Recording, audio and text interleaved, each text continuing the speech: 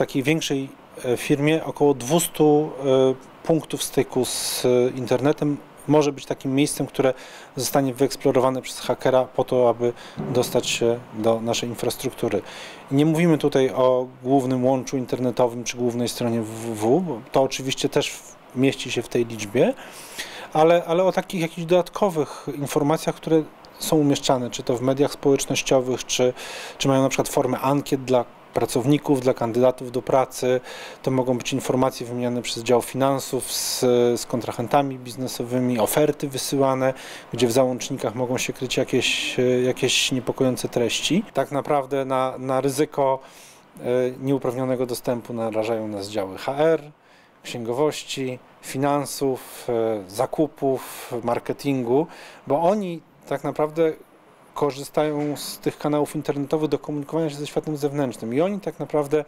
generują te, jak to mówimy, tylne furtki, które, które, które są e, sposobem na dostanie się do infrastruktury przez hakerów. Jeśli jesteśmy zainteresowani, jak działają cyberprzestępcy, to myślę, że podstawowe niezrozumienie e, tej problematyki w takiej opinii publicznej e, to jest nieświadomość tego, że przygotowanie profesjonalnego ataku hakerskiego to nie jest coś, co możemy między piątkiem wieczorem a niedzielą rano zmontować e, siedząc w domu i oglądając telewizję. E, profesjonalny atak hakerski, przygotowanie go to jest, to jest kwestia miesięcy. Zaczyna się od gromadzenia publicznie dostępnych informacji na temat firmy, rozpoznawania, jakie systemy informatyczne są w niej wykorzystywane przez kogo, jakie osoby najwięcej korzystają z internetu w danej firmie, zastanowienie się, wybranie, które z osób czy które z systemów będą celem ataku, następnie zainstalowanie jakiegoś oprogramowania, które stopniowo pozwala nam pozyskiwać, zdobywać wiedzę na temat infrastruktury informatycznej, a ten najbardziej spektakularny moment, kiedy serwery zostają wyłączone albo, albo system internetowy wymaga e, uruchomienia ponownie, ponieważ odmawia usługi klientom, to jest, to jest tylko tak naprawdę końcówka. To ten najbardziej spektakularny i najbardziej medialny element ataku, ale to jest raptem ukoronowanie wielomiesięcznych prac. I, i z punktu widzenia zarządzania bezpieczeństwem teleinformatycznym warto o tym pamiętać, bo,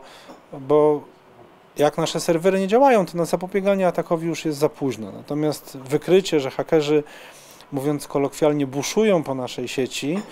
E, przy zastosowaniu współczesnie dostępnych narzędzi informatycznych jest możliwe, o ile będziemy do tego podchodzili w zorganizowany sposób, systematyczny, o ile zainstalujemy w naszej infrastrukturze